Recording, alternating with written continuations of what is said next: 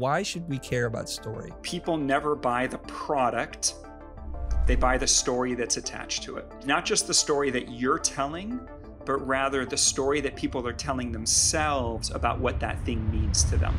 Talk to me about positioning, differentiation, and X factor, and how we can apply that in our business. Those are three really big words positioning, X factor, and differentiation. What do you mean?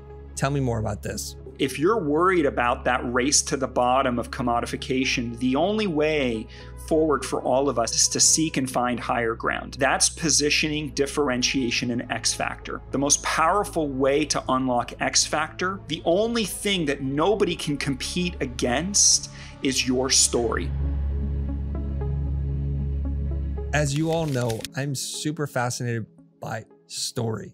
I have this theory, and I don't think it's an, a unique or original theory, is that all memory is tied to a strong emotion, and that emotion is also tied to a story. So I dare you right now, try to think of a memory without telling me a story and an emotion. Probably not possible. That's why I'm super excited to have Michael on the show today. He and I chatted briefly before this on a different call, and he was telling me about these different ideas and things he's been doing the last 10, 20 years of his life.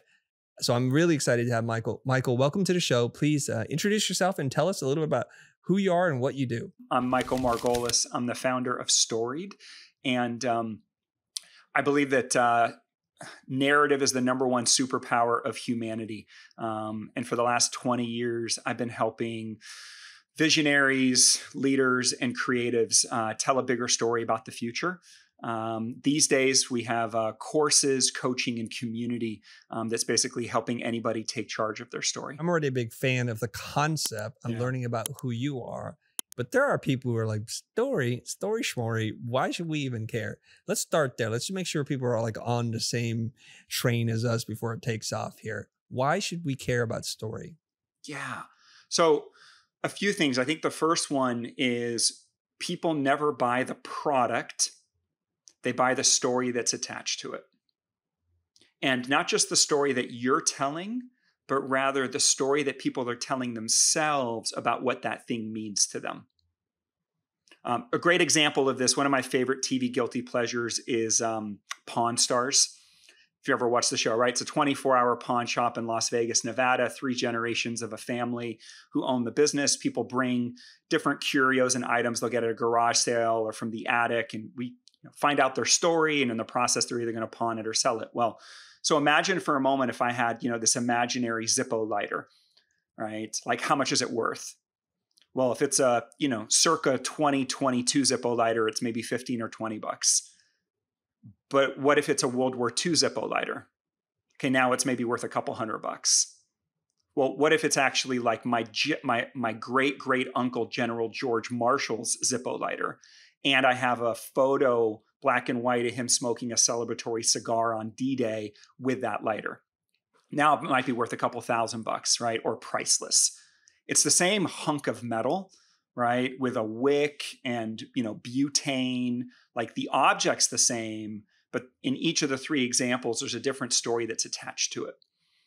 And we might call in the expert before, you know, you go spend a few thousand bucks on this thing, and the expert says it's worth $5,000 but if we took a poll of an audience and said, okay, how many of you want to buy this for $1,000 right here on the spot?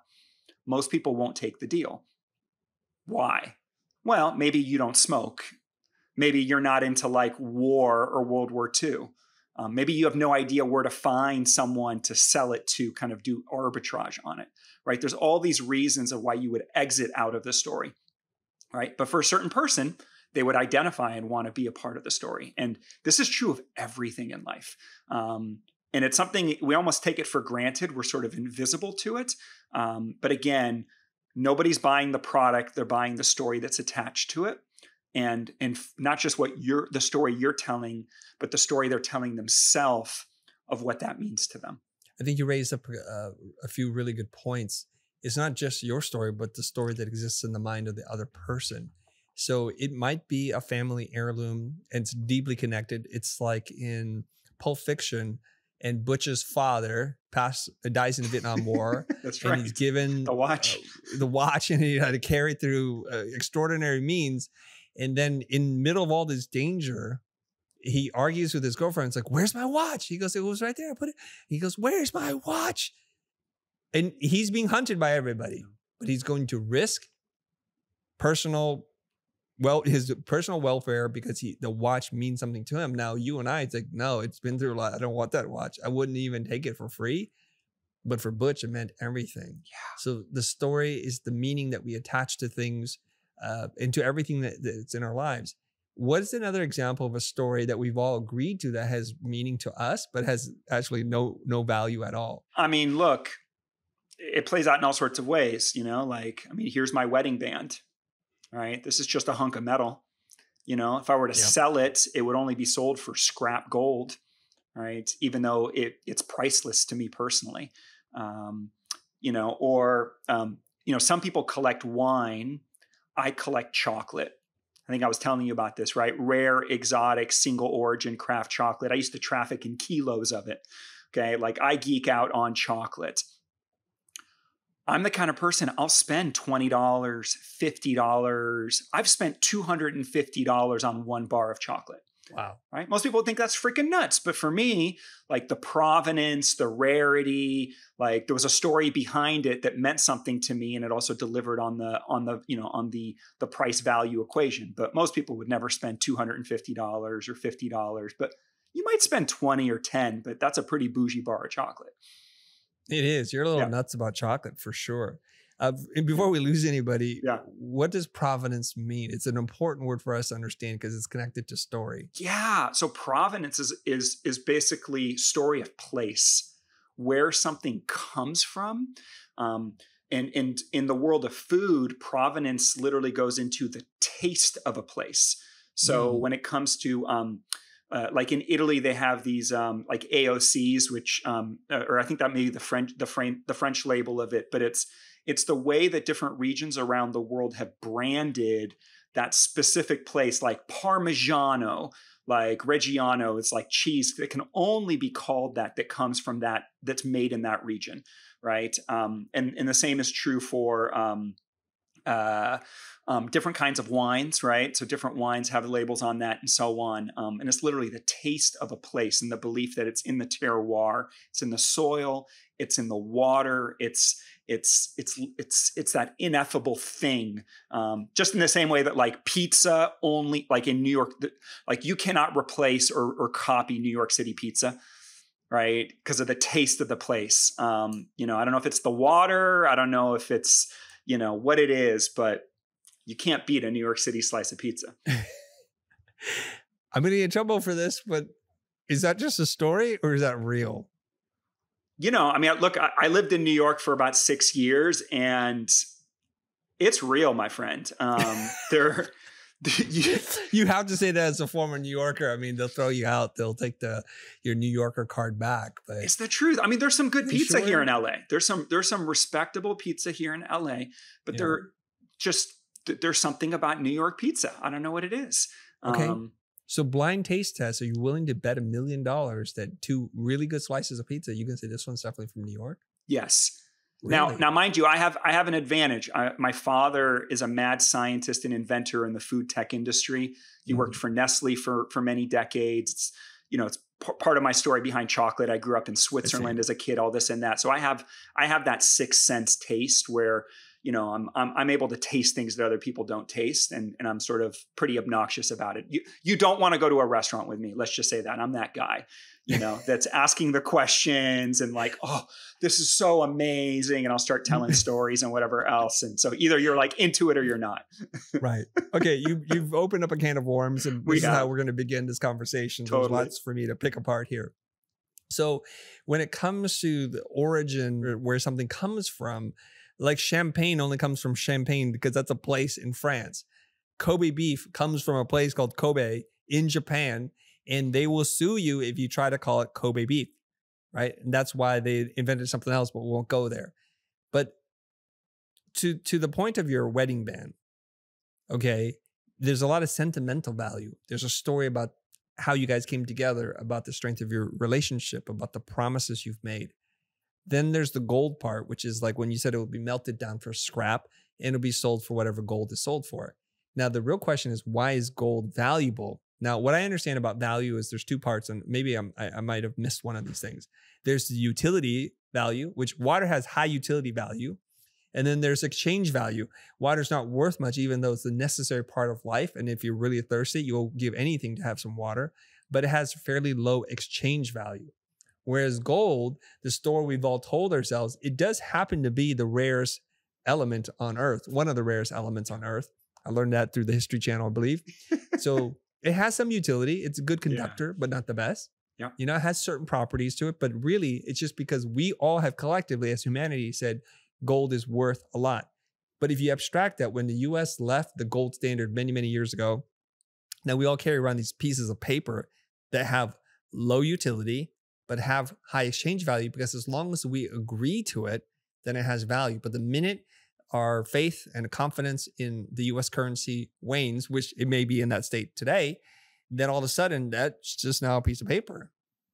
So the story matters a lot here's what you're tapping into and this is you know we've taken the, the red pill so to speak here because we're literally looking at the matrix of life is that every experience every object every relationship is stored in the mind with a story that's attached to it and what you're starting to tap into this is something that i really geek out on that 99% of most books and trainings on storytelling overlook which is actually the difference between story versus narrative all right. So what you're actually talking about is a narrative. Mm, like the narrative that, for instance, you know, this um, you know, I'm gonna open up my wallet here and okay, I literally I only have one bill in my wallet, right? Because we don't even deal with paper paper currency anymore, but I've got a five dollar bill, right? But like the narrative that that this that this thing is a is a currency of exchange of value.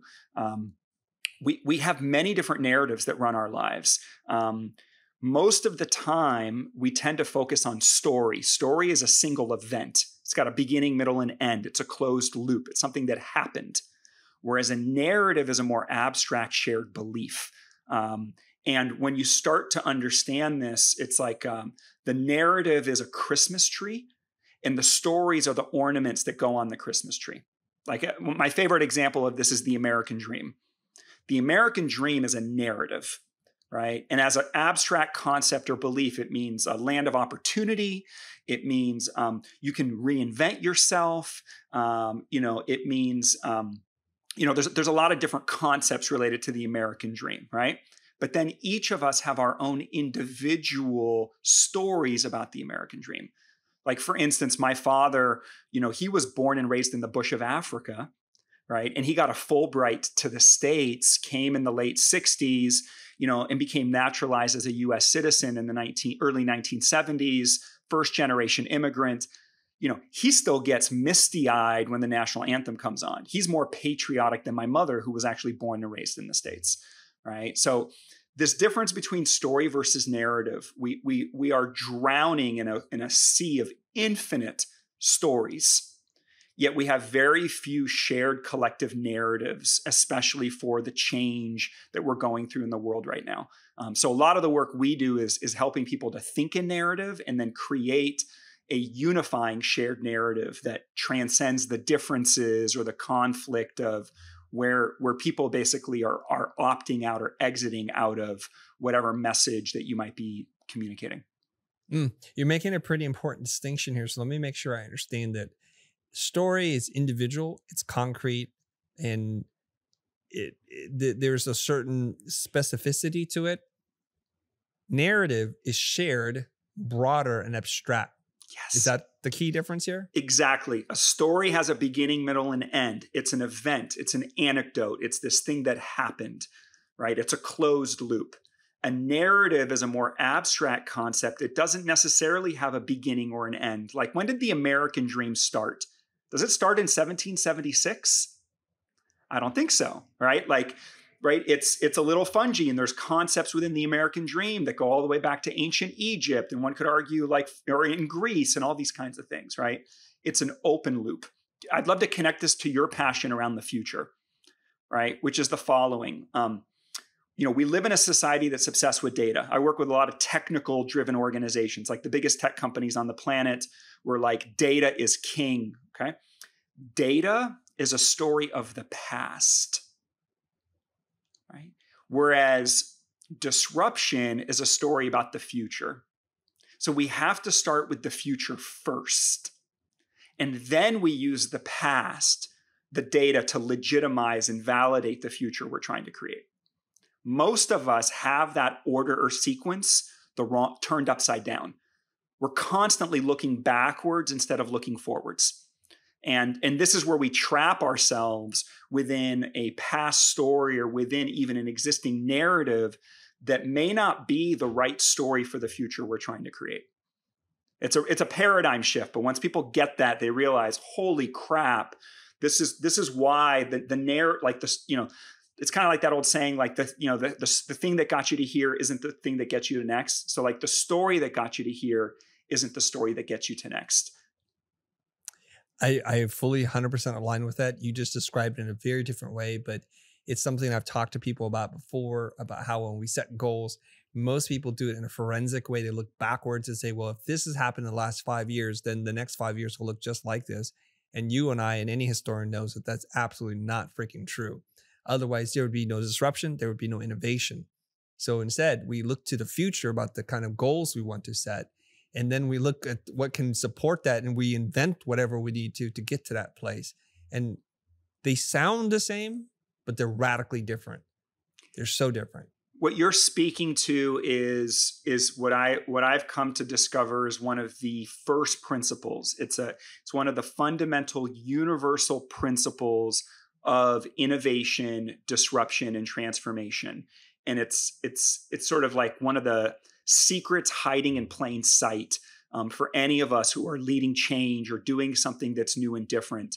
You're, you're being hired for your possibility mindset, the ability to see and name the possibilities and the opportunities amidst change, amidst constraints. Um, but we often are leading with the data, trying to prove and validate something and trying to posture instead of widening the aperture and, and, and really unlocking the, the creative mojo um, and the generativeness in any situation. So while we're on this, yeah. I have to ask this question. Then what is the role of research as it relates to innovation? How do we balance that? Because it seems like the more mired we are in research, yeah. the less likely we are to innovate. I might get myself into trouble here. I'm um, hoping you um, will. Okay. I have an inherent bias and for better and for worse, but I find that that the majority of research is garbage and is a distraction in that um, like when I'm working with narrative and um, and and just to kind of give everyone listening sort of, some context, um, I've been doing this for 20 years. Um, much of my work has been inside the biggest tech companies on the planet. We're talking Google, Facebook, Uber, Shopify, and helping those executives and teams literally sell the future and, and how they do it internally. So, building those kinds of presentations of translating the strategy. But in the meantime, I've also worked with like every kind of creative, independent consultant coach, like, you know, the whole creator economy and like all of that. So, like, you know, I'm, I'm, I'm cut from the same cloth as you and many, many in your community, Chris. Here's what I've learned how working with narrative is that when you're looking to work and change the narrative, you have to index to power, permission, and authority. Like there's an old saying that Plato has, it's also attributed to the Hopi Indians, which is those who tell the stories rule the world. So the thing about story and narrative is very few of us think that we have permission to tell the bigger story. That's the biggest obstacle to this. And so if you are going to go and, and change the narrative within a, for a product, an organization, a team, I always focus on I have to work with the most senior authorized leader of the organizational system, and I'm indexing for conviction. Conviction actually is the currency. Conviction is the way that basically belief becomes a self fulfilling prophecy. Right. And, um, and, and you start from that place. Where's the inherent conviction in the system that, that the conviction about the future? And then once we have that, once we have that, um, basically the, you know, we have a thesis about that we can go test and validate that thesis with research. right? But too often people lead with research, which is basically outsourcing, well, I don't know, right?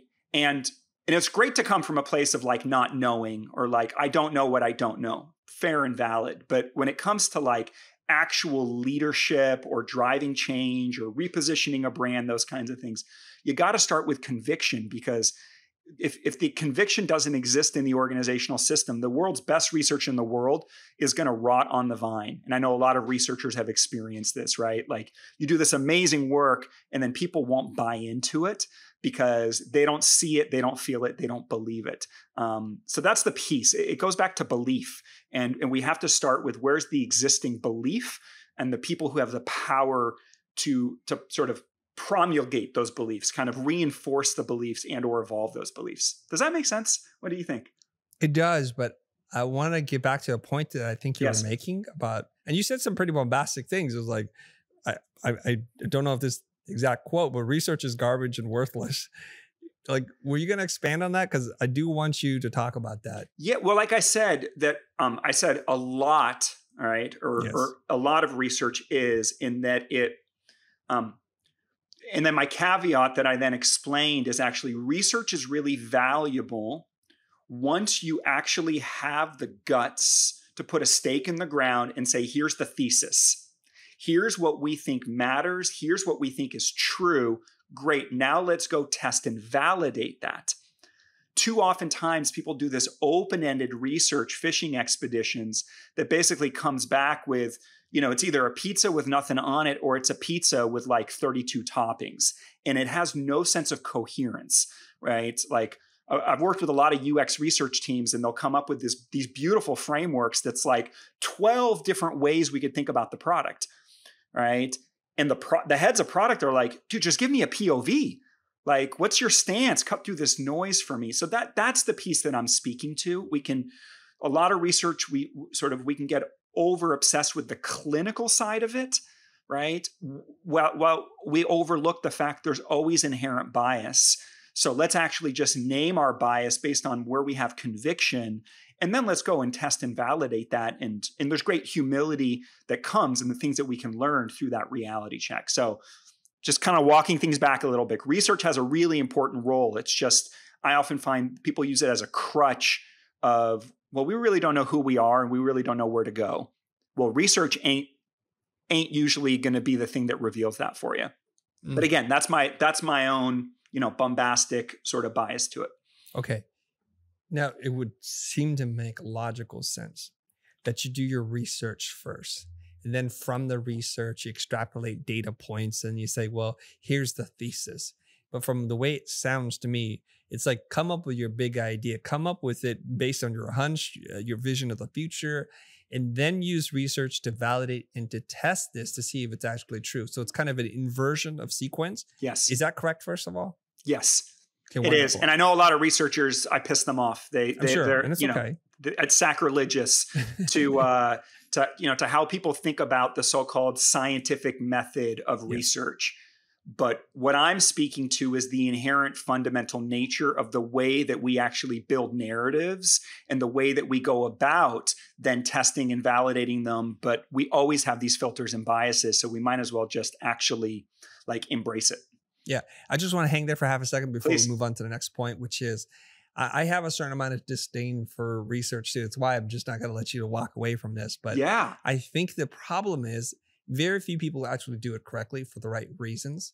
Uh, it's usually to justify an expense, and because a lot of people's jobs are on the line here, so they tend to do over research built on flawed, biased thinking, only to produce the results that the researchers themselves, sometimes subconsciously, unconsciously, are are looking for. So it's like you shape the data because you ask the question in a certain way, and then when you go to interpret the data, it reinforces something you already believe to be true. So that's usually where innovation goes to die. Very seldomly do I get research from professional corporations who then hand me, this is the research, Chris. I'm like, there's nothing in here. There's 277 pages of nothingness of marketing speak, nothing of real value that is an insight. Give me one, like you said, give me one or two insights. Give, give me a point of view. Give me a voice, a direction, or something. And research says that's not my thing. It's not my thing. So You want to add to that? We're digging our own graves here. Uh, so I'm trained as a cultural anthropologist, and the thing I'm most fascinated with when it comes to culture is like, what are fundamental, timeless, universal truths? Right. And by the way, great researchers know this, and they bring those forward. Um, I'll, I'll, give you an example. Um, some years ago, one of the things that I kind of made made my name and career was um, I got a call one day out of the blue from a head of product at Facebook. It was the, the shortest sales conversation I ever had. Um, it's called the French Tech Mafia. Um, this person saw one of their friends you know headshots on my website as a former client and they called up their friend was like hey what do you know about this guy? Your photos on the website. And you know ends up that they'd worked together. So he called me. He's like hey i heard you did great things for my buddy. Um, you know here's the situation. So we ended up building the narrative for facebook groups back in 2016 and in 2016 facebook groups was a red hair stepchild within the facebook you know core app. Really wasn't understood by the company in the world. But they had a new head of product and a new head of design who did some brilliant work did the ethnogra- they did the like the foundational research um, of really understanding the product in people's lives and they had a new roadmap this and that. Well anyways they were then struggling because they they were drowning in millions of stories of how people's lives had been changed through groups. They didn't know how to build the narrative. So we built the narrative on the structure of belonging in the digital age right? The like that's a universal truth that like belonging is this timeless thing and how is that changing or evolving in this new digital environment what role does facebook have to play as the biggest community platform on the planet well that narrative had such an oversized influence and impact it shifted the, the mission and the strategy of the company for more than five years right? Where literally community building became woven into the company's mission, even became woven into their North Star metric of meaningful social interaction, so on and so on. But it came from talking with the leaders who were running that group, understanding where they had conviction, helping to crystallize that into the truth, and then building the rest of the narrative, including the data that supported the vision of the future that we that we had to convey. If that's a helpful example and i think that it's our job as leaders and or if you're you know an agency or creative a designer where you're uh, you know working with clients right you're a midwife to that universal truth um, it's about drawing that forward but ultimately it's it's making choices around that right? Like you, you get muddled with universal truth when you like you give people an all you can eat buffet of like 12 different truths of what it could be.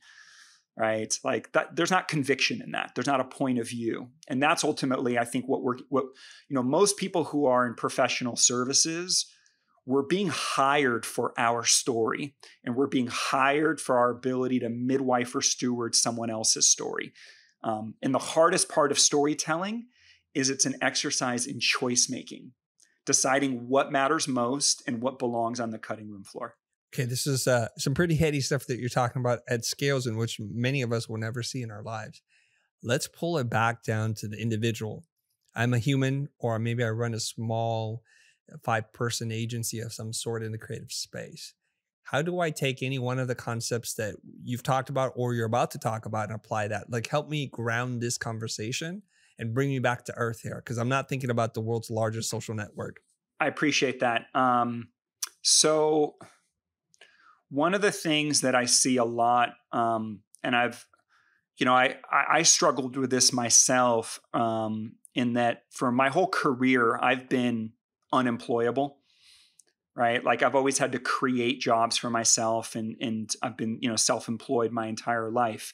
And one of the challenges that you have when you're an independent solopreneur or you're a small agency is uh, imposter syndrome like well you know we don't i'm not the expert that some other people are. I don't have the level of experience yet and so on so the thing i tend to focus on um, and this co- kind of full circle back to our opening conversation it's the following character trumps credentials.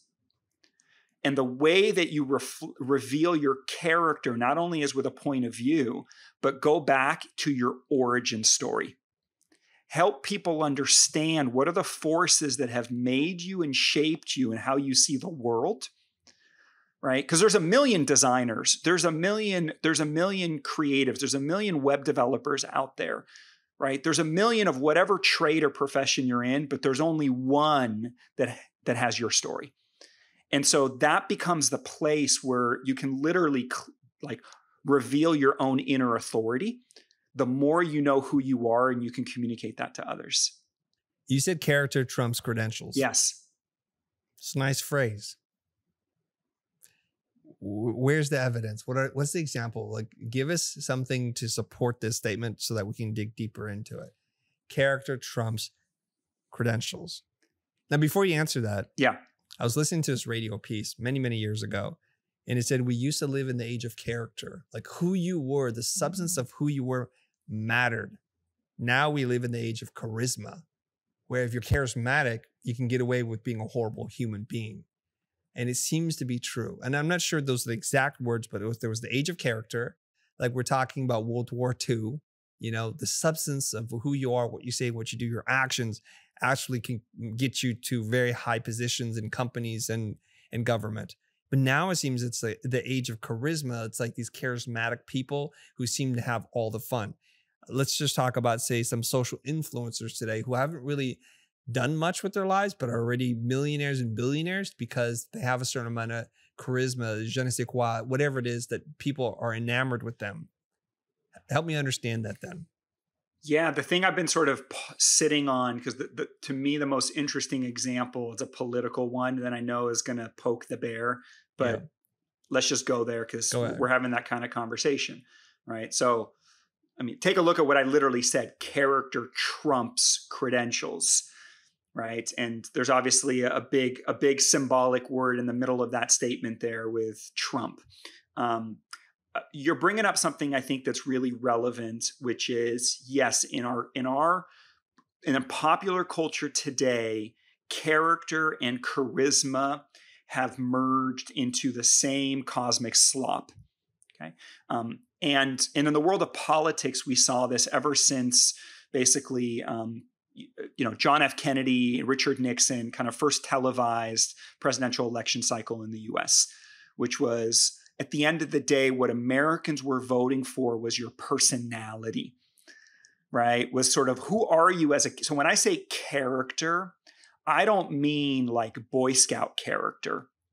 I mean uh, like USA Network characters welcome, right? Like the notion of like like like be an interesting character be someone mm. in something that we remember okay which to me is more of that blending place of you know of charisma and then a character which you know ultimately character is simply the way that um in, you know from a screenwriting perspective the best way that one demonstrates or reveals a character is not by telling us who this person is, but by showing us through the choices and the actions that they take.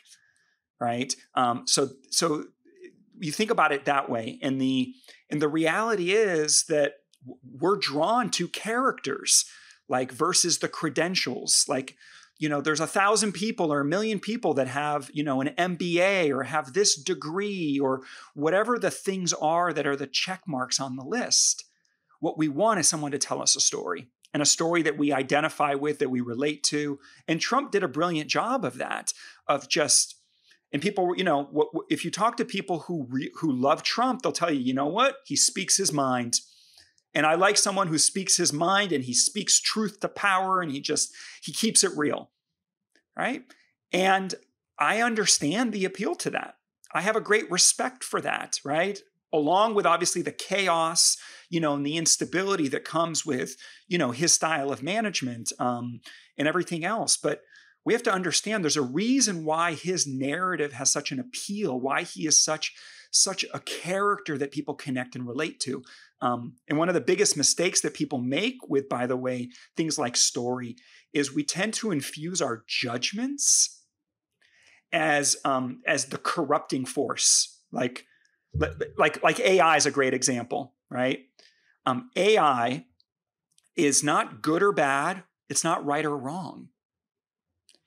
AI, by the way, doesn't give a fuck about your feelings or my feelings. It just is. It's here. It's not going to go away. The question is, what do we want to do with it?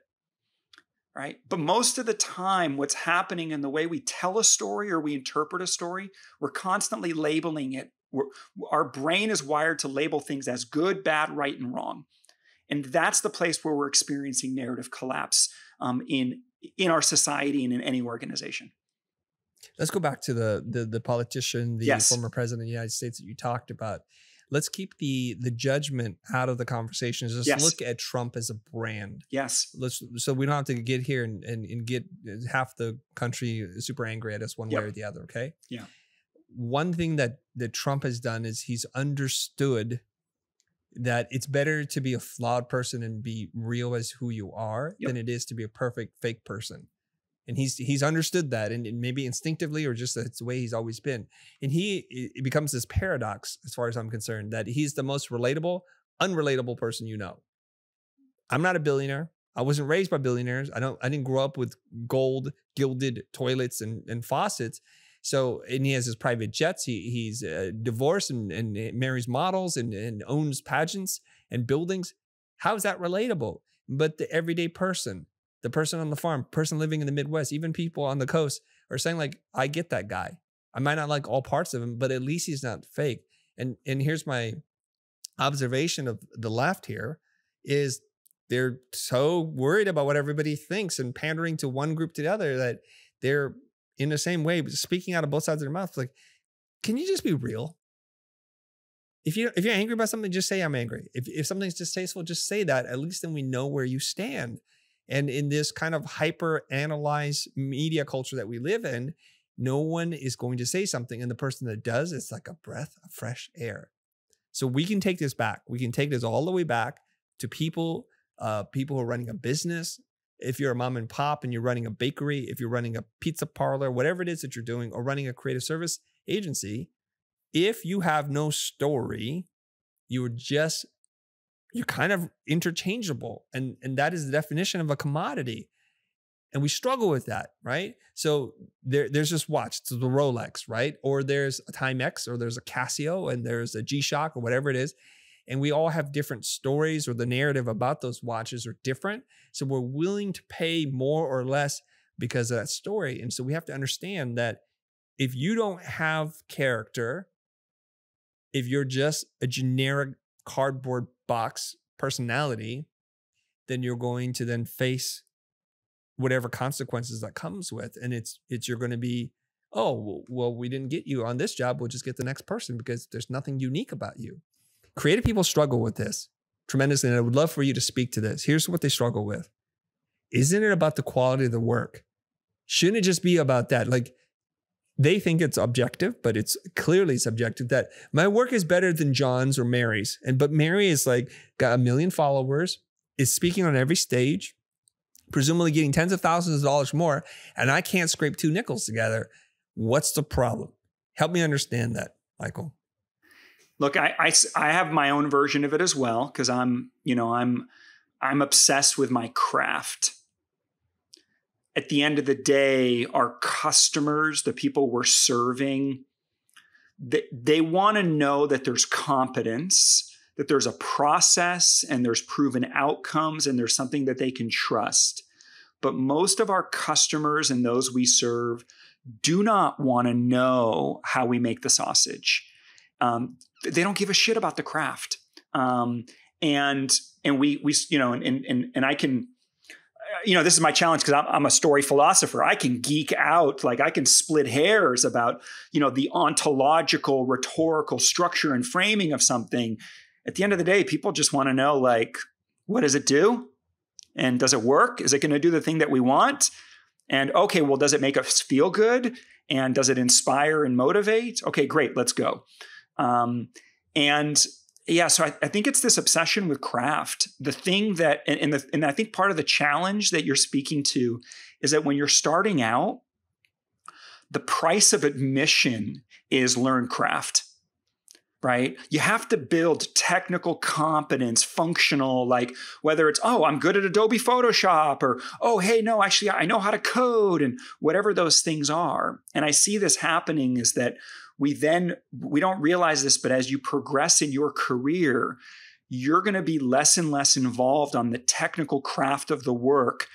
You know like in the world of, of tech it's like you become less and less a product manager you're more and more a people manager like your success in your career trajectory is more and more in your ability to persuade and influence and motivate and inspire and make a business case and negotiate conflict and all these things that are more the soft skills and relational skills. It's all what I call narrative intelligence. Um, but it's a hard shift to make when our identity is rooted in technical competency. Okay. I need to ask you this question. Yeah. And then I have to follow up on the teas that you shared with me, like on our previous conversation yeah. or call. Okay. So let's go here. And then I want to save room for this last one, which is a big one. Yep. So the question I have for you is this talk to me about positioning, differentiation, and X factor, and how we can apply that in our business. Those are three really big words positioning, X factor, and differentiation. What do you mean? Tell me more about this. Yeah, well, we've been talking about this, right? Which is, and and frankly, we are on an accelerated track right now because of what has happened with generative AI. Okay, we are going to increasingly see more and more commodification across all creative industries. And so, if you're worried about that race to the bottom of commodification, the only way forward for all of us is to, is to seek and find higher ground. That's positioning, differentiation, and X factor the most powerful way to unlock X Factor, the only thing that nobody can compete against is your story. It's like, you know, your own unique snowflake. And the, the way to unlock and tell that story um, is to, to find something that's at the intersections and that speaks to something that's ineffable. I'm going to give you an example of this um, for everyone. Uh, this is again a very tech example. We were working with a, a venture-backed startup that that's in the developer space, working with developers all around like how you manage your code at scale. Really super super geeky stuff, and they had just raised their next big round of funding, and they were having a hard time with the narrative. Um, they were all about developer first, the street cred. So they were talking about how this product, it sliced, it diced, it chopped, it frapped. You could do it for breakfast, you could do it for dinner. You know, they were lost in the features and the functionality. And what they needed was more of the enterprise B2B like positioning. Like, how do we sell this to a CTO, a CIO, the executive decision maker? And what we found there was like a step ladder from um, so there's three ways to think about this like um, aspirational value emotional value and functional value. And it was moving up the ladder. Long story short what we got to was a story around developer happiness. Because p- developers that were using their tool when they started to use it they couldn't live without it. And developer happiness was this intangible ineffable thing that they actually they could position and differentiate themselves against GitHub and some of the other folks that were kind of encroaching on their territory. And it's fascinating. Long story short on this is that the the executive team loved it, but they didn't have the conviction to own it. They went back to some of the generic things of like developer velocity and developer success but if they had actually gone and claimed developer happiness, that would have been this X factor thing, which was actually, by the way, showed up in the research, talking to the customers and the users. Um, but the conviction wasn't there at the leadership level to live and own and you know to really really live into that larger narrative. Mm. okay. The the challenge i have for you is this. Please. And and hopefully we do this and if not we'll, we'll continue on the conversation some other way last week you asked me this question as we were kind of wrapping up our conversation or whenever we had that conversation. You said chris give me give me 10 minutes or 15 minutes and i'll help you sharpen your narrative because i know you're preparing for a talk. Yes. I've since gone on to do the talk everything worked yeah, out great and i just want to see you do some of your magic. Yes is that possible to do like a 15 minute window where 100%. you can demonstrate your wares a little totally. bit okay. Yes So what do we do? How do we do this? Set this up so it's like a home run for you. I can walk everybody through like our signature three-step narrative framework, but to really bring it to light, I would love to workshop with you something that has stakes, something that's meaningful to you where you feel a little bit stuck or like haven't quite got the story straight. The thing that I'm getting close to figuring out is this new mastermind thing that I'm doing called Brand Lab. And it's a big pivot for me because we've been historically serving creative people and teaching them business skills. And then I realized just the, the other side of the coin is to teach creatives or teach creativity to business people. So in in that way, we might unlock something beautiful and wonderful that there's all these frustrated creative people who've lived that kind of left brain life and I, I wrote this line. It says, helping left brainers think right, the art of business and the business of art. And it's what we're trying to do inside the brand lab. So there's the brand atelier. And what I want to do is help them find their voice, their two word brand, to be able to succinctly communicate who they are in the world, to tell their origin story. Some overlap here, obviously, and to be able to use that in showing up in the world as a, as a real person that has strengths and weaknesses and not to run away from it. Because I think we're so pre-programmed to just want to fit in and to be like everybody else. It's such a strong instinct, and I have to break them from that. Okay, so I want to make sure I get this right and mm-hmm. that we're mm-hmm. all tracking along. Um, this is about the brand lab. Yes. And historically, it was about helping creatives develop their business skills. Yes. But what I, if I understood correctly, you're now evolving this to actually help business people unlock their creativity skills. Yes. Great. Okay. So th- this is a great example um, for for everyone that like all narratives are ultimately built and rooted in polarity. Like there there's a there's there are opposing forces um, in some form. This is you know rags to riches. You know this is the you know um, uh, you know, get the girl, lose the girl. Like there's always this kind of force. So what you're doing is you're you're flipping the script, which is a great setup. Um, but now what we need to figure out is, um, I want to understand now for this new audience, um, what is the what, what's the thing that's standing in the way of, of you putting out this new story in the world? I don't know we've we've launched. It's brand new. Yep. There's some resistance from my creative community who feel like, oh, you're just leaving us behind, Chris. And then there's these business people who question, like, what is creativity going to really do for my business? What are the X and O's on this thing? So that's that's a hat trick we're going to have to solve. Yeah. Okay. So something a really important distinction for everyone listening. The moment that one tells the new story, right? So, yeah, Chris, you've put forward this new story of we're going to help business people become more creative, right? Unlock their creative skills.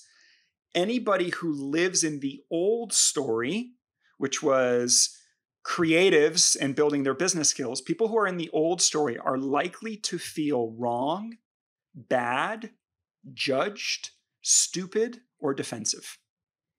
Okay? And and so now the the the the art and science of this is how can we tell the story of the new without making people in the old story feel left behind or that they're not good enough?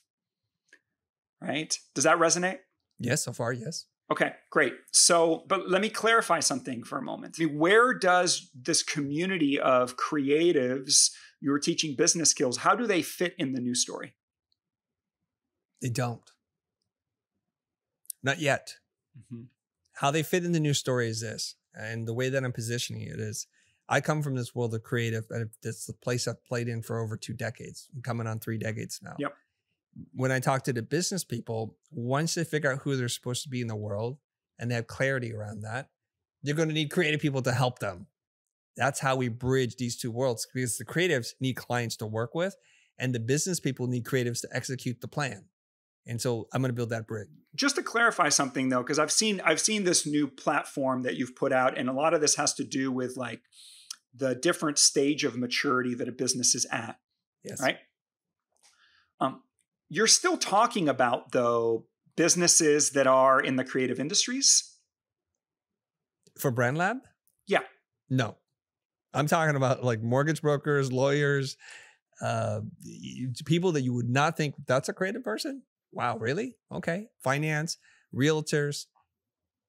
They self admittedly say, like, I'm not a creative person. I'm like, well, I don't think that's true. If we zoom back out a little bit, kind mm-hmm. of widen the aperture, the the way that you have built and constructed this narrative creates a duality that is us versus them of like this is who we used to serve and what mattered to us but now this is who we serve and who mattered to us and it feels like a binary trade-off right it's kind of like plus on this but it's going to be like we're going to lose this and so now the question becomes is there an even bigger narrative that we could find and tell that's a bigger tent or umbrella that everybody can fit underneath? I think there is. I told the story and it sounds like it's the binary trade off, but it's not in reality because all the programs that serve creative people are still there. Yeah. And it's my intention. I've communicated this to the people who want to know. I intend to use the new source of revenue to help bolster up some of the creative stuff. And one of the things that I'd love to do, like I, I envision myself as a little bit of a Robin Hood, steal from the rich to give to the poor. Yeah. The rich in my mind are like corporations, right?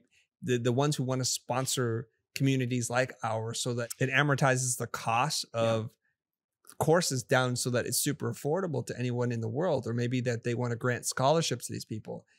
It's a long road to get there. And in the meantime, what I have to do is to finance other kinds of creative courses and so the only way I can do that is to go to the people who want to spend the money, who have no issues with spending the money, and the impact that's created with them will be in exponential return, uh, an x-fold return. So it's not going to matter to them. Yeah. Then we can use those resources to build and create more programs for creative people. And so the the bridge or the gap between the two are going to start to close. Okay.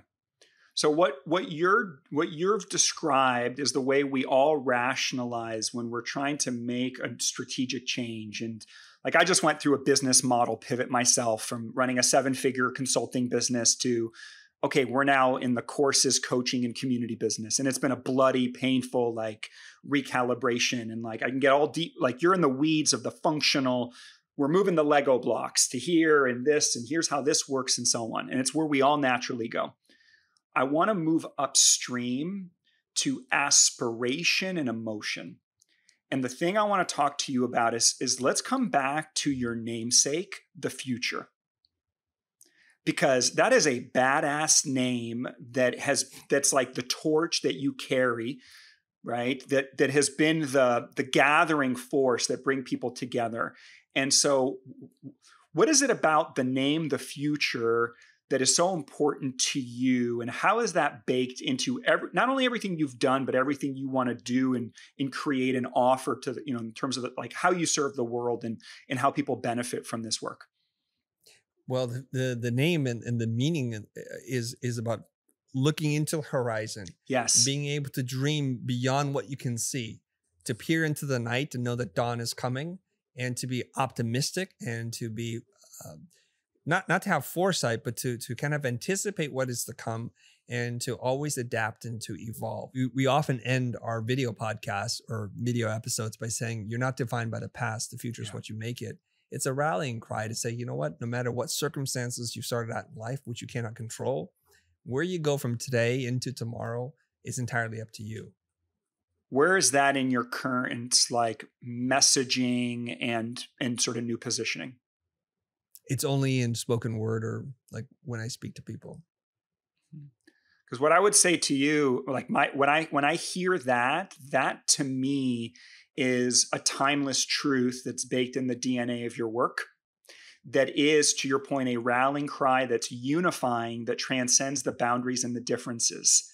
Um, like, while yes, you might have some new ideal customer profile, certain personas, and some of this kind of like you know funnel related things about like you know like the business side of it this distinction of business and creatives um, this this narrative about the future and the future is what you make it and we can dream beyond what we can see and this invitation to adapt and evolve in this moment which is such an inflection point moment in our economy and in our society like that's the fuck yeah let's go that like transcends any perceived differences. How does uh, what comes up for you as i reflect that back to you how does that how do you how do you respond to that thinking about elevating more of this core DNA about the future in your namesake. I, I like what you're reflecting back to me. When we first started to teach, we we tried to get people to understand this concept, and it's a very popular idea. Is that wouldn't it be great if, as creatives, we're invited to the table where the decisions are made? So we have to instill within you all these business skills. We have to bring yeah. the business world to you but there was no guarantee that you would get to that table. It was just an idea. The designer should be there at the front, not at the back, not just to be an order taker. But I also see it now as as I'm talking to the business people who need this. Well, now I'm at the table. Yep. I can open this door and invite you in. And so now it's the two parts to the to the puzzle, right? Like we can get these yeah. two things to come together faster, in my opinion. Time will tell if that's true where I'm, I'm actually at that table where those people are making those decisions. Now I understand how they work and what they want, and I'm going to invite you to come in, and and hopefully we just accelerate that process. Is it too far of a leap to say you're ultimately like building a a platform or a marketplace for for businesses to connect with creatives and creatives to connect with businesses? It's not too far a leap. I don't want to say that word just yet, but yes. I think you were reading what I was sending out, which is they need creative services. My creative people need businesses to transform. It, it, it ideally is a match made in heaven, right? Versus sling it out on uh, Upwork or totally Fiverr, which is yep. a bloodbath. Yep. Okay. So, um, how are we doing on time? Because I want to walk you through one more thing if we have the time for it. Let's do it. Okay. All right, so we, we've staked out a lot of cool territory. I want to walk you through right now the SFB narrative method, okay. which is people have to see it and they have to feel it in order to believe it. Okay, so we've been staking out the territory. We've kind of found some interesting vectors and so on. So the first thing with see it, um, let's talk about talk to us about how the world has changed and what is now possible that wasn't possible one year ago or three years ago. And this is obviously in, in the context of the audience you want to serve. Right. So, what's changing in the world and what's now possible that wasn't before? Well, the biggest thing that's changed in the world is due to the pandemic.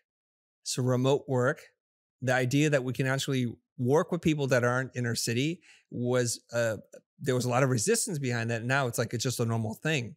We're also now have a lot of freedom to live and work in places that are not connected, to be asynchronous in how we how we collaborate and how we produce things. So the the future's been there for for years, and now the world just woke welcome like, oh, we have to do Zoom calls, we have to teach online, and and we can telecommute in ways that we thought we always could but didn't, and now we can. And some other things have come up. Eh, I'm not saying in the last couple of years, but it seems to be on the upward trend, which is business fascination with design and design thinking. That's super hot, right? Um, Stanford has the D School for Design for entrepreneurs. It's like we're just a little late to that party. They've already known this that in each and every single one of us, regardless of what suit you put on, there's a creative child waiting to play. And that's me saying, hey, we're not different. We're the same. Just allow me to help them see that in themselves, and we're all going to play together. Okay, so I'm hearing the the pandemic changed a lot. Um, it's broken down certain boundaries or limitations, and um, you know, with that, I really loved a phrase that you said, which is "the future is here." I would really elevate that phrase and explore what does that really mean and look like? What future is here? What is it we can do now that we couldn't before? And widen that spectrum um, across multiple vectors. So the, the technological forces, the economic forces and the cultural forces that basically make the future that you see a self fulfilling prophecy. It's inevitable. This thing that we thought, well, maybe, no, no, no. It, you know, like uh, William Gibson once said, the future already exists. It's just not widely distributed, mm-hmm. right? It's like, so celebrate that. And I think, frankly, a lot of the ways that AI is already fundamentally disrupting creative industries needs to be a part of this as well.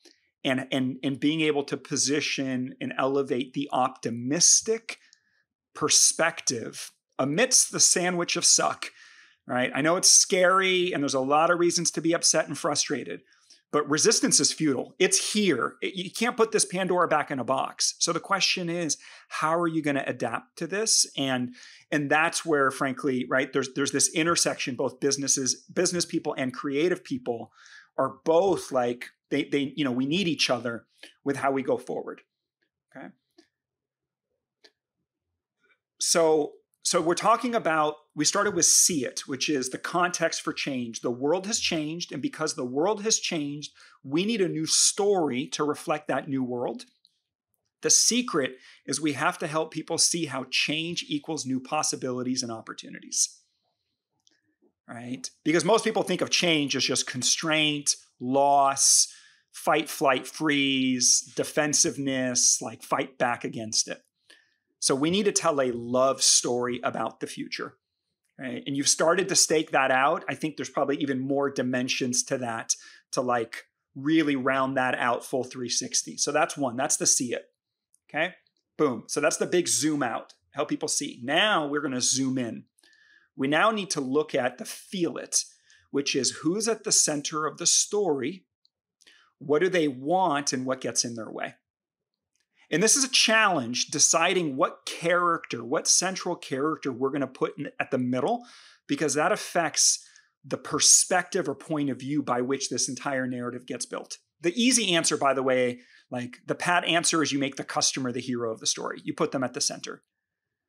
But sometimes it's not so clear who the customer is, or, you know, we have a B to C to B to B story right? Or we have like oh i'm i'm working inside a company and i have these internal customers and clients and like all these examples it gets convoluted. But who do you, who do you think is at the center of your story? If you had to pick one central character kind of symbol that would speak to both business people and creatives.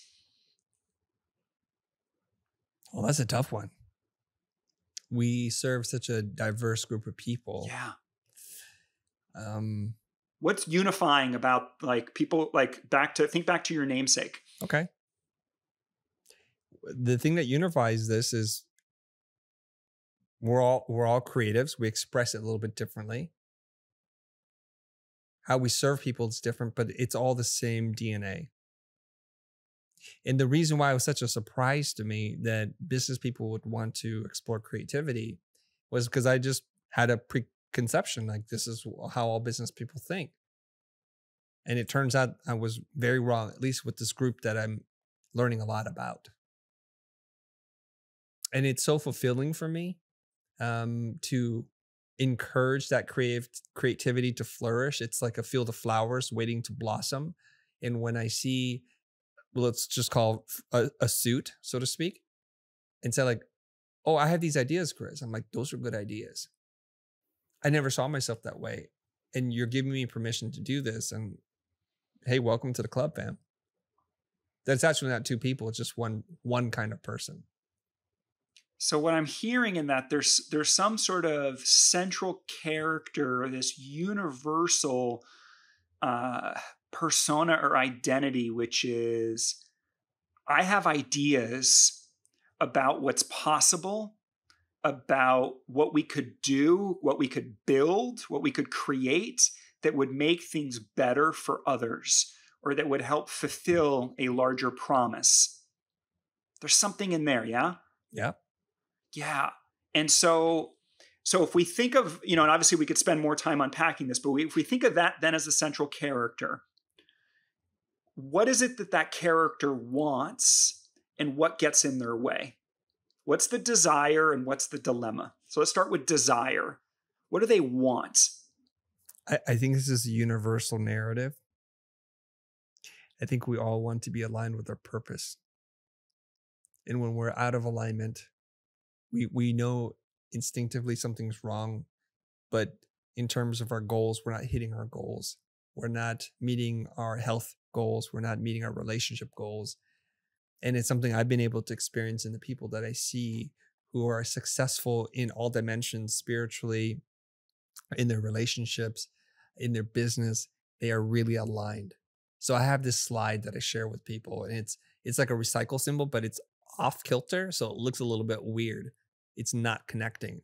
And what I want them to do is in their mind put the parts together. So for me, just to relate it, like I used to make commercials and music videos. It gave me a financial reward, but something was missing. Then when I taught, it gave me a, a reward for my my soul, but something else was missing. And when I ran my business, like the analytical part of my brain's like I'm very happy.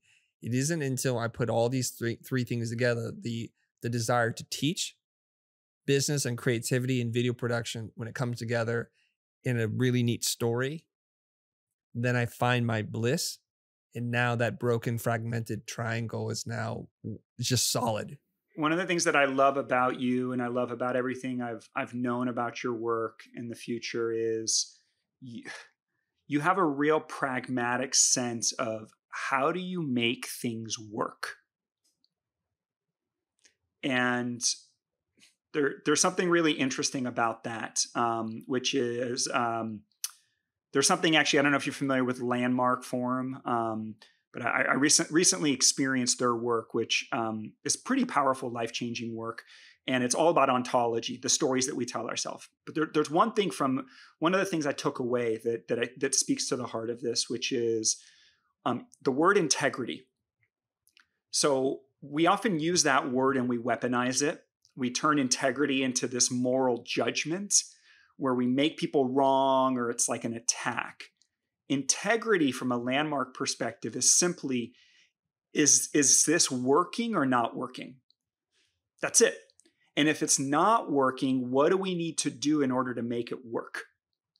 It's value neutral. There's zero judgment to it. I found that to be an incredible liberating way of looking at integrity. Um, and I bring this up because I my sense is you're really like you're someone who that's part of your character. Like you focus on the engineering of how do we make something work in a manner that honors the creative process and also honors the business process. So you talked about what it is that that that that that people want is to kind of is the sense of purpose Okay. But there's a dilemma. There's there's something what's the obstacle that stands in the way of being able to live into purpose, whether you're a creative or a business person? I think it's uh, integration. So creative people feel the conflict in that, oh, I don't want to deal with business numbers. I don't want to talk about finance. It cheapens it. It it hollows me out. And then on the business side, it's like, oh, I'm not a creative person. I don't have that gene. I don't have that panache or the the eye for design and creativity. And and so they can't integrate these fractured halves or more than two parts whatever many fragments there are. They can't integrate. And the story that i love to tell because i'm just a dork or a nerd is i love comic books and my favorite character is the incredible hulk. And it's not for what people think. It's like the, hulk is like it's like um, dr jekyll mr hyde in a more popular form it's Dr. Bruce Banner's the most brilliant scientist in the world. Like he's level seven intellect. He's one of the five smartest people on the planet in the Marvel universe. He's super unemotional. He's fragile. He's weak. He's been abused by his father. He has strained relationships because he just can't tell people how he feels. Some some people can relate to that. But when he gets angry, he is pure emotion turned into rage. And something I, I read about the Hulk recently is the Hulk has unlimited power. The angrier he gets, the more powerful he becomes. So if he reaches a certain state of anger, he is cannot be defeated by any, not by gods, not by anybody. So if you want to take him down, you got to take him down quick. So these two people, one person, it's like this multiple personality disorder, and they can't live in harmony. Um, Dr. Banner is fearful that the Hulk will explode and destroy towns and ruin lives. The Hulk is always belittling puny Banner because he's his weak point. Banner thinks too much. Banner, you know, Banner trusts too many people. So somewhere in the storyline, Dr. Bruce Banner and the Hulk learn to accept each other and they become Professor Hulk. So then he has most of the strength of the Hulk, the intellect of Bruce Banner. So his emotions and his logic are in order, and he becomes a god among men. And now he's no longer hunted. He's no longer a threat to anybody because he's in complete control. They they come together in harmony. It's why he's my favorite character. Wow. I've I've never had the Hulk broken down like that for me. And it um what I find fascinating about this description is that you're speaking to the inherent, like the inner conflict, right? Which is, by the way, what I think is the next level narrative. So, like classical storytelling is hero, victim, villain. It's us versus them, which is, you know, heroes, okay, great, but who wants to be the victim or the villain? Right? There's an inherent nature to that framework that actually does not scale for the world that we're in right now, which is worldviews and value systems colliding. Right. And so you're speaking to something new and different here. And and that inner conflict. And, and the, the challenge that we all face is that, you know, in the world of business, if you're talking to everyone, you're talking to no one, you know, that truism. And this is one of my biggest Achilles heels because I'm kind of like you of, you know, and to a, to a fault. Like I'm like, come to Jesus, baby. This is for everyone, right? This is, you know, this is the, the great awakening. Like storytelling's our birthright. But th- there's there's this like fine line we have to walk of, okay, how do we speak to something universal while still making it relatable to the various different people we want to serve? Because we're all walking around with our identity hats on. Um, so I, you know, I would I would continue to look at this dynamic of the central character and this tension between what they want and what gets in the way. And yes, purpose, and then yes, this this this um, this tension, as you mentioned. Um, but the I would say there's something in there around permission. Like if you talk to a creative about business or a business about creative, is everybody has these considerations, the yes buts the yes buts but but i don't know this i don't i don't speak that language i've never been good at that there's all of these like qualifications or considerations that like take people out and there's something for you like your work is actually about getting people to say yes to themselves and say yes to their dreams and say yes to their bigger future and and and i think your gift too is making it making people feel safe to actually widen the aperture of who they are and what they want and what they want to build and create. And there's something in that territory to me that is an incredible, like tent revival, like, come on down to the party.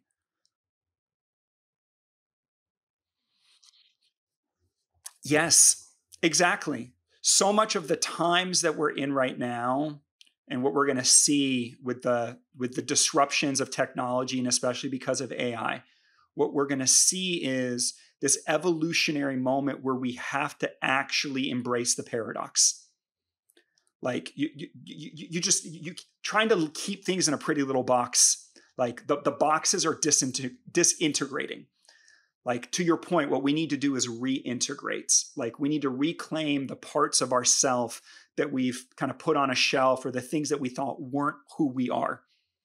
And why like widen the da- dynamic range right? And as you know like the journey of leadership like being a good leader is actually being good at being outside your comfort zone on a more frequent basis. That's basically what leadership is like being really good at being uncomfortable doing something you've never done before and making that your new normal right? Same thing that like you know the armed forces do special forces like you know heart rate variability stress response. It's like the ability to be calm and present amidst like fubar right amidst like everything is upside down um, and there's something about like you know the dojo mindset that clearly is deep embedded in your work um, and helping people to widen that dynamic range all right, so I know we we could we could continue on this forever. I want one last piece to at least stick the landing for you. So we we zoomed out to the see it. We talked about how the world is changing, the new possibilities and opportunities that come with that,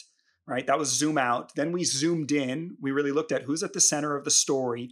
We need someone that we can empathize with, identify with. And we looked at the choice to make there in a way that could be more unifying as opposed to repelling, in a way that addresses this paradox right now because you're repositioning yourself in the market of a very different market you want to serve or widen to serve multiple markets and how can you move into the new without abandoning the old right so we've staked out some of that now the third piece to this is the believe it this is the evidence of truth so what can we point to that will validate and legitimize the promise that you're selling right? This new future of what you're building and what you're inviting people into. What can you point to that's like, oh, business, like business people becoming more creative, creative people becoming more business like? Yeah, duh. It's so obvious to you and like it's possible. What would you point to? What's the facts, the evidence, the proof that supports this promise that you're selling, which is a, a really inspiring and appealing promise? Well, I think there's plenty of evidence that exists already. Um, yeah. I mentioned before the D School of Design exists in Stanford's business school. They're no dummies. I wouldn't bet against Stanford, and they've been doing this for a period of time. You can look at uh, IBM's acquisition of companies that have design thinking in their name or something. They're just gobbling up companies like this. So the left brainers are seeing that the value that design has. And and Apple is probably one of the most successful companies yep that have strong like have that strong integration of design design thinking user experience design and they lead and and it always boggles my mind that they've been doing this for decades yet the the second or third place companies can't seem to match all the quality the components that they've been able to capture so effortlessly effortlessly from product to product. Scratching my head. Marty neumeier writes about this and cites numerous studies about how um, like S&P companies perform that have integration of yep. of uh, innovation and design thinking and how they perform in just in the market itself. Like they have an x percent boost just because they spend enough money on R&D or mm-hmm. design led thinking so it's already there it's just they're just at the tip of the spear or not enough people are recognizing that just yet it's business as usual i love that you're absolutely right and i've tracked that evolution as well here's one interesting wrinkle in all of this chris is inside all the biggest tech companies on the planet right now in the last six months. It's fascinating. Not only the big tech companies, but also Fortune 500s. They have all decimated their central design organizations. It's this really weird thing that's going on right now. So, you know, UX research has been decimated, but also just design as a function has gotten decimated. And and I've talked to a lot of friends who are, you know, VPs and leaders in those organizations. And a big part of it has to do with this earlier conversation we had, which is design as a profession is too obsessed with craft and not and not functional or fluent enough in making the business case and being able to translate their work to the executive boardroom and being able to really like make the value propositions and help people understand and especially now in an environment where you know the cost efficiencies of ai a lot of companies are kind of going like well yeah we're going to start to automate more of this and we're going to start to you know outsource more of this um, so it's an interesting the, the, it's a little bit of a step back but i think the fundamental thesis is spot on and ultimately AI disruption, the more and more things get automated and outsourced, basically what, what generative AI I think will do is it will make us better storytellers. It will make us better philosophers. It will make us better creatives. It will make us better ethicists for the very simple forcing function that it demands us to. Because if the machines are doing X, then what the heck is our role and job? right? It's a fundamental existential thing. And that's where design and creatives at its essence and its DNA is about asking those questions, about looking at the inherent relationship between things and how do we strengthen and improve those relationships.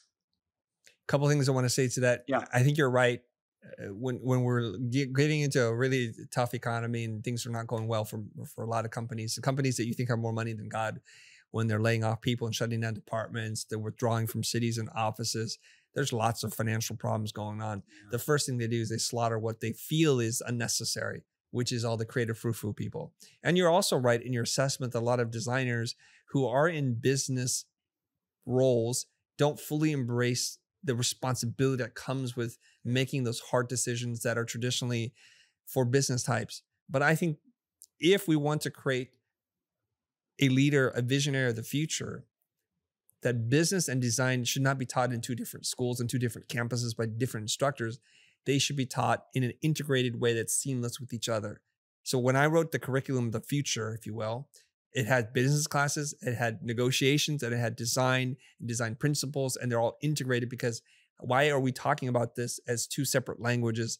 It's really one language. And and hopefully I'm the guy who's beating the drum and, and building a parade around this of more than just one. But I want to point out two things here, or maybe at least one thing. The creator economy. We seem to be ushering in a new era that is a offshoot of the information economy where we can see people like Logan Paul getting together with Deji and form forming some kind of collaboration to create one of the fastest growing sports drinks uh, companies that is going to be worth more than a billion dollars. Here's a guy who's fallen off the creative wagon a couple of times himself, but has been able to resurrect and revive his career and his life into becoming a potential billionaire. Uh, then you have Mr. Beast, who was literally offered a billion dollars for his companies, and he turned it down because he thought it was undervalued. I don't think he's dreaming here. And so there's a whole new paradigm where I don't know how many people graduate from business school thinking like I have a roadmap in 10 years on how to become a billionaire. Yet there are people in the creative space, maybe as far as like high school education in terms of their formal education, who are now on that path today. So I think it's it's a case for both like business people understanding the need for creativity and innovation and creatives who can play in these open fields and just dominate and crush lastly to your point of ai i think the future since if ai can do a lot of what it is that humans are doing today it will come down to this i'll just put it out there and let's get your temperature on this the winners of the future of an ai enabled future will be the ones who have really good taste they understand what good writing looks like, how it reads, how it flows. They understand what good music sounds like and what what come what is a good combination or a genre of bashing or mashing of things. They know what aesthetically is pleasing and elevated and good taste. Because we can see you can pump out a thousand iterations of images really quickly, but are they any good? And do you know that that's good, or is that the machine telling you it's good?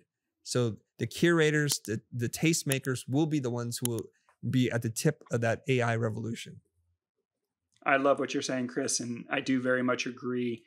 The the way I, I've described this is what generative AI has done is um, it's a forking moment in human evolution, and as part of that, now knowledge is dead, and wisdom is queen.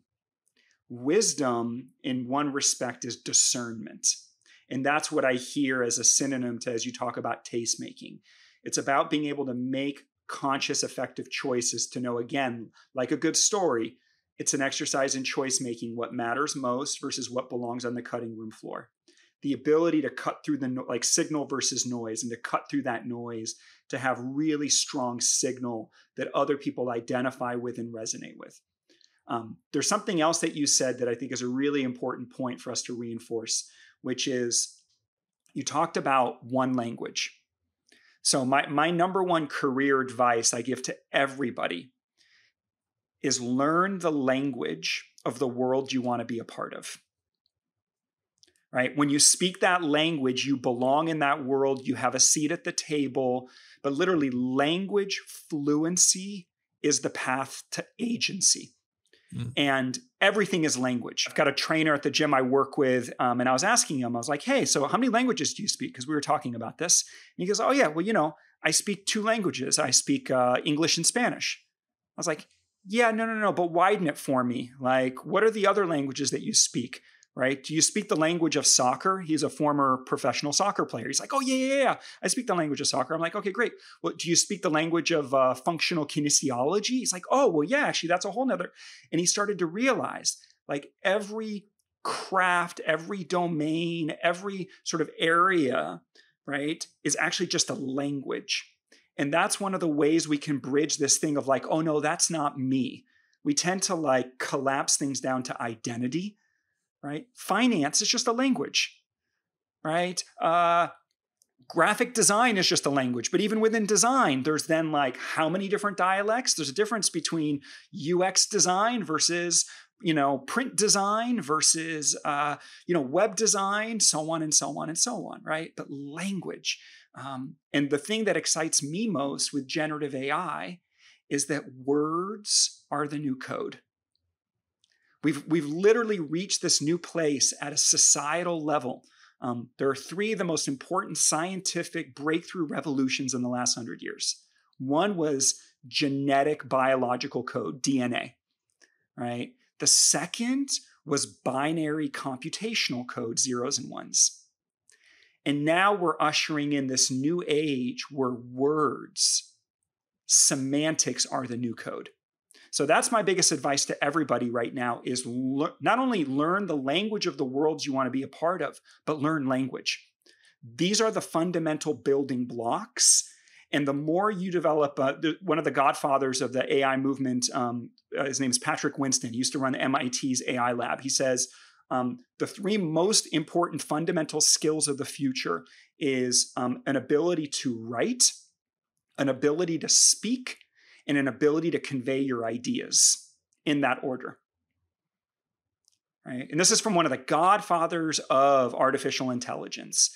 Like we have to build our semantic fluency, work with language, and then ultimately this ladders up to narrative intelligence, or that storytelling is the universal source code right? Storytelling is it's in every religion it's like it's it's in it's in every part of culture. It's just literally how we make sense and meaning of things. And i think we're all going to become better storytellers again by the simple notion that we have to because um, we're all going to have to make sense and meaning of what is exponential change um, and you know the more we can find the opportunities and the possibilities basically tell a love story about the future um, that's going to lift us up and then lift up the people who are around us. Whew. Michael, Chris, that's been it's been a really meaty intellectual conversation. There's some words here that our audience is probably looking up, and I include myself in there. and my head hurts in yeah. the best possible way. Mm-hmm. I thought we'd do something a little funny yeah. as we wrap up today. Please. Okay. And yeah, we're just giving people a taste of totally what they can experience within your ecosystem. So before yep. I do the funny bit to end it, uh, how can people find out more about you and the programs that you're running? I appreciate that. So um, you, everybody can find me online at storiedinc.com. Um, we're we're in the process of refacing a lot of stuff. So probably the best ways to kind of plug into our ecosystem is one is check out my latest book, Story 10x turn the impossible into the inevitable. Um, you can find it on Amazon and on Audible and Kindle. But if you go to storiedinc.com forward slash story 10x, you can download a sample of the book, 70 pages. It's meaty. You'll get right into it. All the things that we talked about broken down. So that's the best best way to plug in. Um, we have a new flagship course called Narrative Influence. It's a five week sprint method. We run that every three months. Um, and then lastly, uh, connect with me on LinkedIn. That's where I share the most content and in musings. Um, Michael Margolis uh, Storied is where you'll find me there. Wonderful. My guest has been Michael Margolis, and he's written the book Story 10X. It's a beautiful book. I can't wait to dig deeper into this. And if your brain is still possible, like uh, like still put together after our conversation today, I strongly encourage you to go visit him, check him out, Thank you. see what's going on under the hood there. Because I, I, know we just scratched the surface. Yeah. Now, there's this bit yes. that they used to do on the radio with this show called Frosty, Heidi, and Frank. I don't know if you remember them, if no, you listen to uh-uh. radio. Okay. Anyways, they would do this thing at the end of the show. They would apologize. Like we'd like to apologize to everybody we've offended, and they would get mm-hmm. into the mm-hmm. list. Now, while you're going, I wrote down some things. Yeah. So Okay, so I wrote down, okay, we'd like to apologize to sausage factories, to researchers, to politicians, to the right, to the left, to AI itself, and anybody else that you could think of, Michael. Yes. Oh man. Well, I want to I want to apologize to Chris. I want to apologize to Chris's mom and dad. Um, I want to I want to apologize to everybody who believes in Trump and everybody who hates Trump. Um, I want to apologize to the Zippo company and to Pawn Stars. Uh, I want to apologize. Um, let's see, who else do we need to apologize? I need to apologize. I need to apologize to chocolate makers around the world. Um, and um, I need to apologize to all of our listeners for indulging me in my brain stretching, heart expanding discourse. Um, thanks for going along for the ride. Um, I come in peace. Wonderful. And I'd like to make the final apology to anyone who's made it this deep into the episode who hasn't like veered off the road. And there's there's this expression. The expression is a human mind once expanded does not shrink back to its mm. original shape. And I hope your mind is expanded today. Everybody, just remember one thing you're not defined by your past. The future is what you make it.